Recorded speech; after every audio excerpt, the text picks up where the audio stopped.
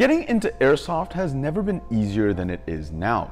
Back when I first started, buying your first gun usually meant meeting a stranger that you met off a forum, hoping the gun actually works, all while avoiding prying eyes because it basically looks like an arms deal.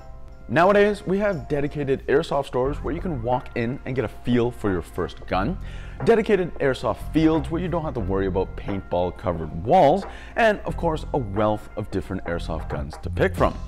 At the same time, the amount of choices can be a bit intimidating and it's hard to know where to begin. I'm not here to tell you exactly which model to buy, but I will give you some examples as a starting point. This video is more focused on the questions you should be asking yourself when you're shopping for your first gun. Let's get started. To make an informed decision, you'll need to understand the different types of guns available. There's three main categories, electric, gas, and spring. First up is the automatic electric gun or the AEG, the most common type of airsoft gun you'll see on the market. These are battery powered using a motor to pull back a spring loaded piston which then compresses air behind a BB, launching it down the barrel. The most reliable, versatile, and upgradable, you really can't go wrong getting an AEG as your first gun. Electric pistols, or AEPs, do exist, but they tend to be rare, very low velocity, and because of that smaller size restriction, no company yet has been able to make one that's competitive with gas pistols. Which brings us to gas guns.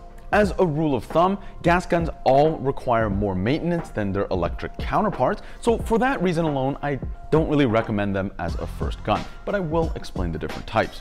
Three main types of gas, green gas, CO2, and HPA. Green gas is probably the most common you'll see on the field, and it's the same gas as propane, except without the smell and with some oil built in. Most green gas guns can accept propane with an adapter, but you'll have to add in the oil yourself. CO2 is compressed carbon dioxide, often sold in 12 gram capsules that's installed into the gun or the magazine rather than being filled up like a butane lighter.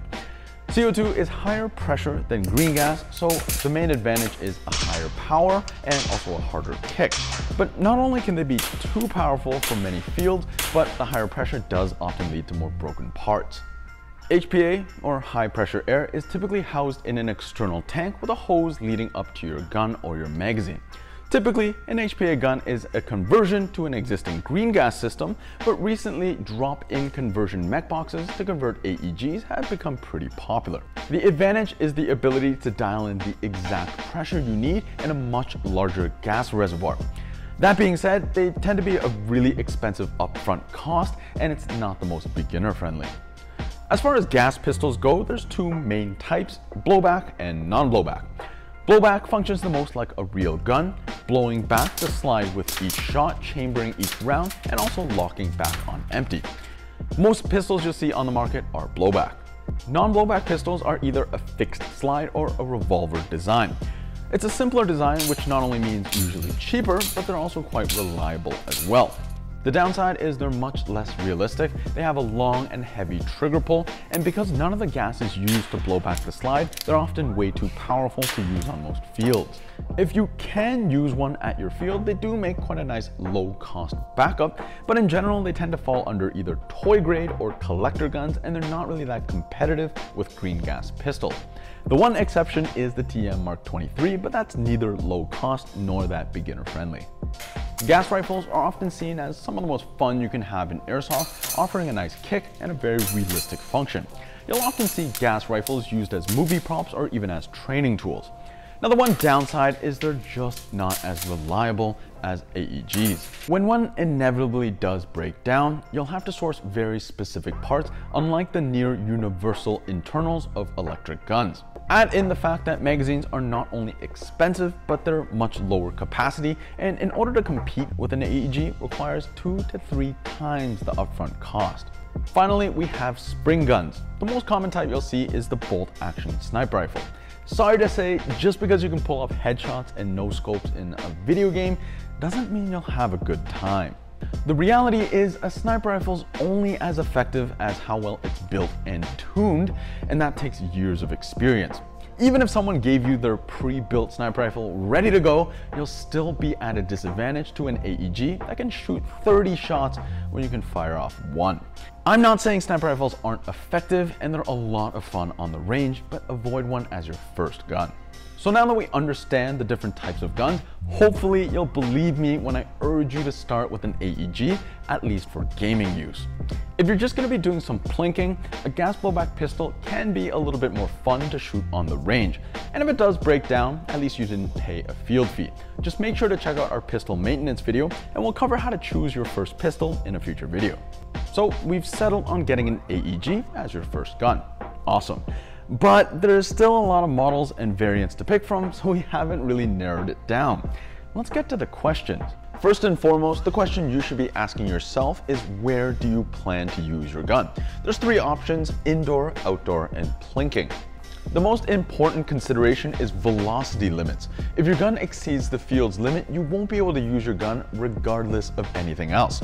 Measured using 0.2 gram BBs, you can't just put in a heavier weight ammo for a lower reading.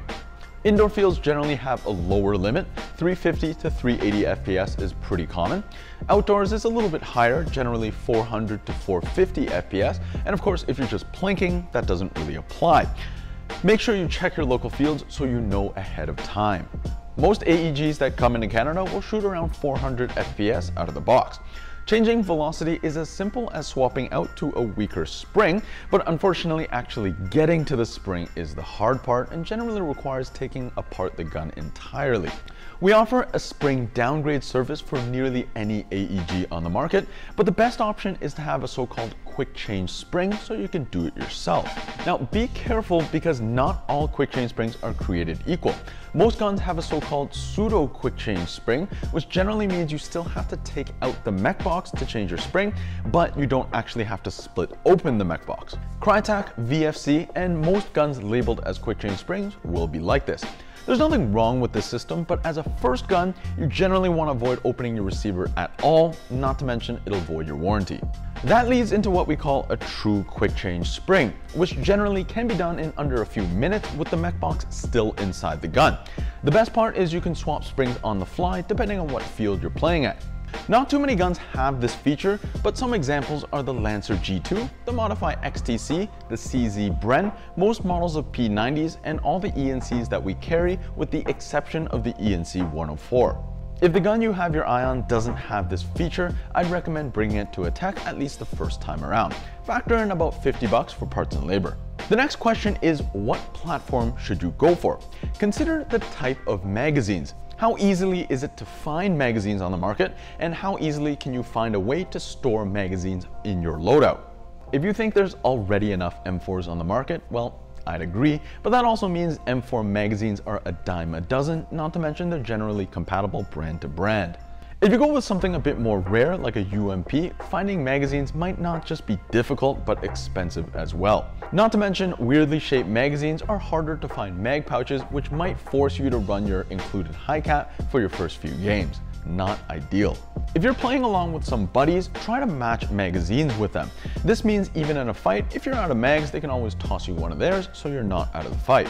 Airsoft is one of those hobbies where going against the grain might actually be a bad call. Having a more common platform generally means parts availability, not to mention other players can help you fix and diagnose problems if they are to come up. Don't get me wrong, rare guns are awesome, but save that for your second gun when you already have a main gun to rely on.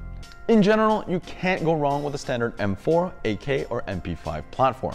If you really gotta be different, try at least finding a gun that shares common magazines like a CZ Bren or an FN Scar.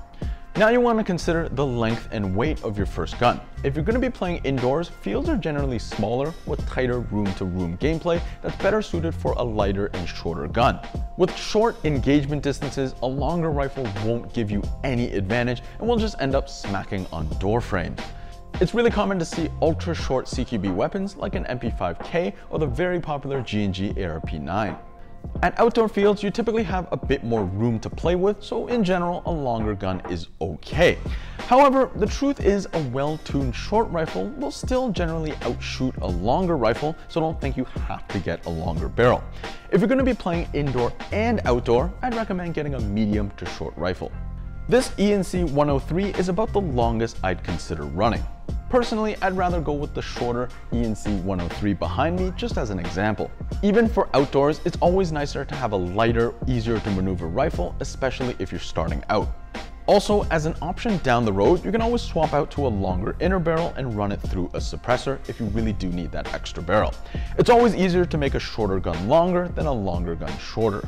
As for plinking, that's the easiest. Just go with what looks good to you. You don't have to worry about maneuverability when you're just standing still hitting targets. The next thing you want to consider is your budget. Unless you have friends to lend you gear, you don't want to be spending it all on just your gun. Aim for about 50% of your budget. The rest should be invested in a good quality battery and charger, non-fogging eye protection, extra magazines, and gear.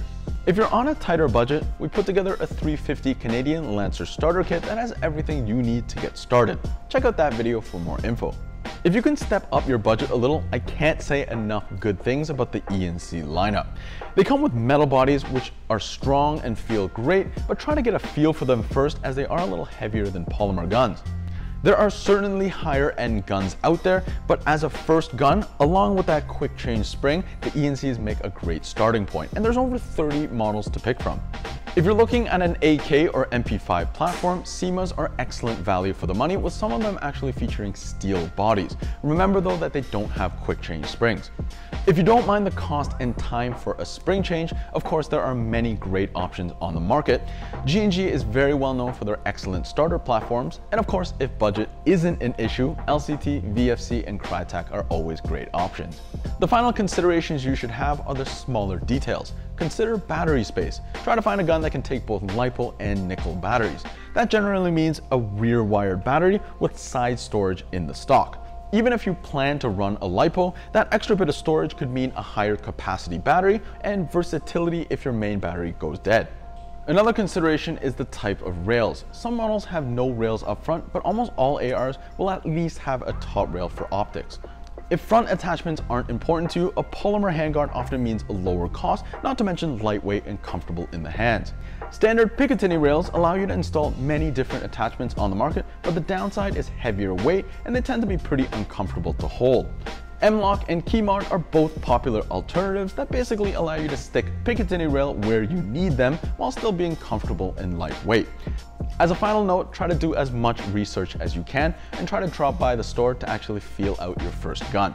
If you're watching this video, it means you're on the right track. Airsoft does have a pretty steep learning curve, and the more research you do now, the better your experience will be. I hope you found this video useful, and I do apologize if you really wanted a sniper rifle or a gas gun as your first gun. Remember, that's still an option for your second gun. As always, thanks so much for watching. Subscribe if you found this video useful and we'll catch you on the next one.